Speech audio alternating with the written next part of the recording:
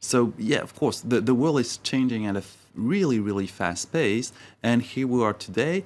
Uh, our French administration, where uh, they are looking at a foreign company, an American foreign company, uh, cannot use any electronic medium to communicate because they'll be uh, intercepted by the NSA, and the NSA will pass the information to the American company. It's the way it works today. Cody Olson? The NSA does not have the powers to spy on every company in, in the in the world. It Now- does. It does. It really does. Does you should look, uh, have a second thought about the Snowden files. It does. Does it have the capabilities? Yes. Does it have a legal basis to do it? No, they don't care.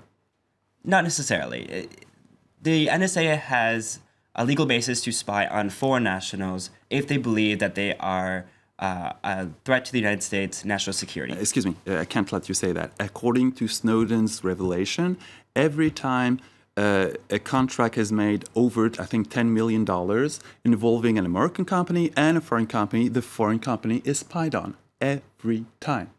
Those are written inside NSA document leaked by Edward Snowden. Whether or not these practices are legal, that is No, one question. No, they're not legal. Who cares? But that Who is that is cares? that is the question that we need to be asking ourselves. Is it legal? Is this what they should be doing? That's why we create What, oversight what Jean Claude. Juncker did was not legal.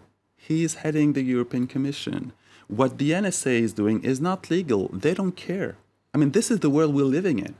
The, the world is not ruled by law today.